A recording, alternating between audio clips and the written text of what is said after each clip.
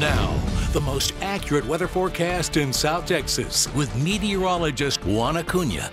Hi everyone, welcome back and a very good Monday afternoon to you. Hopefully you had a great weekend. We start off with our Nissan Automotive 6 weather bug off in Kingsville. You notice we started off with some clouds and they began to thin out a little bit more as the time went on and we're looking at mainly sunny skies now. Same picture over on our Mike Shaw Kia 6 weather bug over on SPID and Nile. Started off with the cloud coverage. Right now temperatures are into the upper 60s and then we had the sunshine peak out and we have a little bit of some of those high clouds left so that is going to lead to another spectacular sunset for us here as we head on into the next couple of hours. So what's ahead, we will look for some patchy fog for tonight as the uh, humidity and the dew points are on the rise this evening and we will look for a passing coastal shower as we go on into tomorrow as we get that return flow off the Gulf of Mexico. Most of us are going to stay dry though.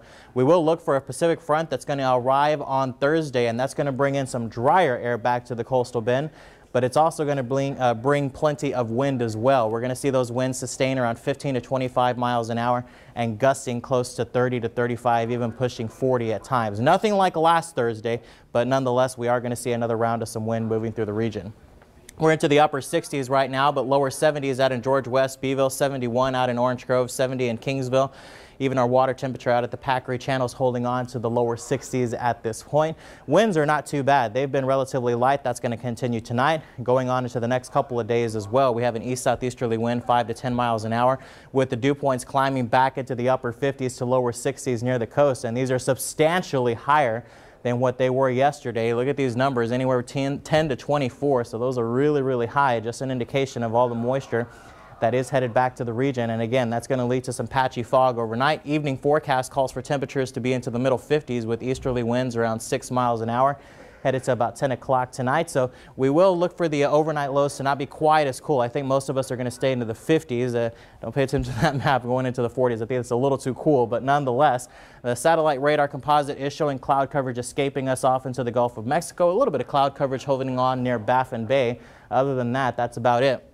There's still plenty more that's going to be off to the uh, west and southwest of us. Those will eventually make their way back into the region overnight tonight.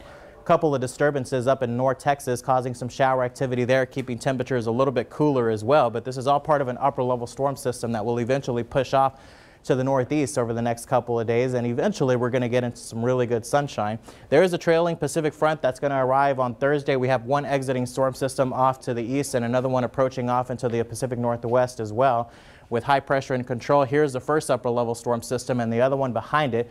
This is what's going to cause the uh, Pacific front off near California to dive on down, and that's what's going to be increasing our winds as well. So you can see kind of that counterclockwise turn here. We're into the dry air now. Most of the uh, moisture associated with this is already off into the Gulf of Mexico at this point. So let's go ahead and track it for you as we go into tomorrow afternoon. Tomorrow not looking bad at all.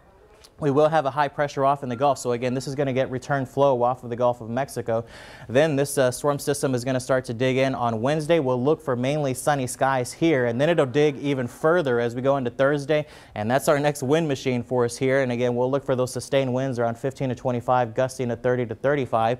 Friday looks spectacular. We have high pressure that'll be in place and then return moisture will start to come in with another low pressure system off to the west of us here. So with that increased wind, we will look for critical fire weather on Thursday. Critical near the coastline, elevated inland, so outdoor burning is not going to be recommended. So quick look at the winds. We will remain light for tonight and going on into tomorrow afternoon, we'll pick up those winds only going about 6 to 12 miles an hour. NEC Co-op Energy 7-day forecast, 71 tomorrow, 76 on Wednesday, more mild. Then the front comes in, we get some drier air, windy conditions. The first day of winter, we're down into the lower 40s. That'll be nice, but mild again as we go on into Christmas Eve with the high of 75. Paula.